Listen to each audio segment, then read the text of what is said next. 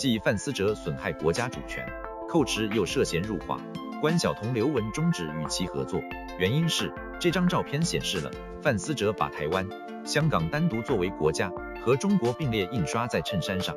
后来，杨幂工作室立马在八月十一日凌晨两点钟就发表了杨幂和范思哲解约的声明。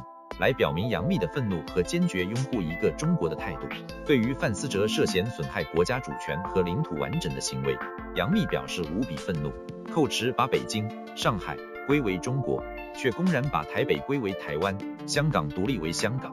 去寇驰官网，按照国家查找搜索门店的时候，你会发现寇驰把香港、台湾、澳门单独作为了一个独立的国家。